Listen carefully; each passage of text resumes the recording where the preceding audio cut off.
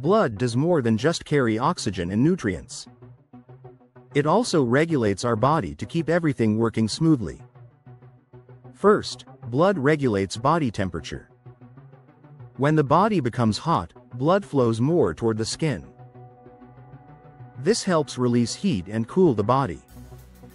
When the body is cold, blood stays away from the skin so the heat remains inside. Second, blood regulates pH levels. Our body works best at a pH of around 7.4. Blood contains special chemicals called buffers that neutralize extra acids or bases.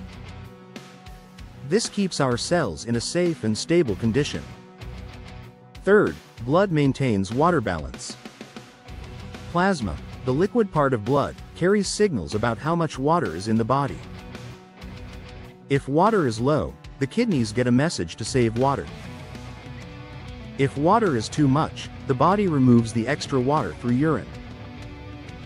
Fourth, blood regulates hormones. Important hormones, like insulin, adrenaline, and growth hormone, travel through the blood to reach the right organs. Blood makes sure these hormones are delivered in the correct amount. Finally, blood helps regulate protection. White blood cells control infections, and platelets control bleeding. This keeps the body safe and stable. So overall, blood acts like a continuous monitoring system. It controls temperature, pH, water levels, hormones, and protection to keep the body balanced and healthy.